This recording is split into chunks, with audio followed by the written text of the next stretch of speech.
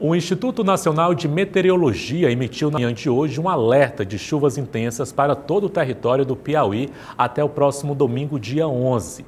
No centro-norte e sudeste do território piauiense, o alerta é de perigo potencial com previsão de chuva entre 20 e 30 milímetros hora ou até 50 milímetros dia e ventos intensos que podem chegar até 60 quilômetros por hora. E como é que fica a região de Picos?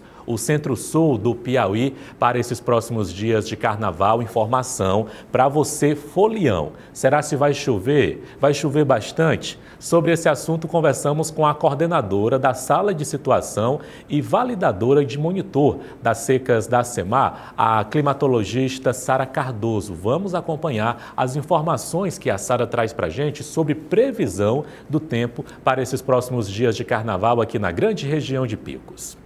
Os municípios do Sudeste, pega ali Picos, é, Pio Nono, Paulistana, por exemplo, nós observamos que essa maior possibilidade de ocorrência vai ficar no recorte de 9 a 13.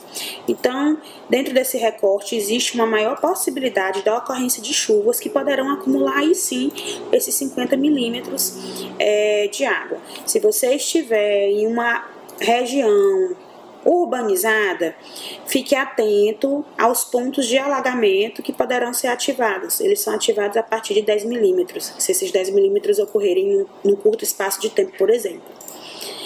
E toda vez que você observar a possibilidade dessa ocorrência de chuvas, é, abrigue-se em um local seguro, evite fazer atividades é, totalmente expostas a essas situações. Tá feito o alerta.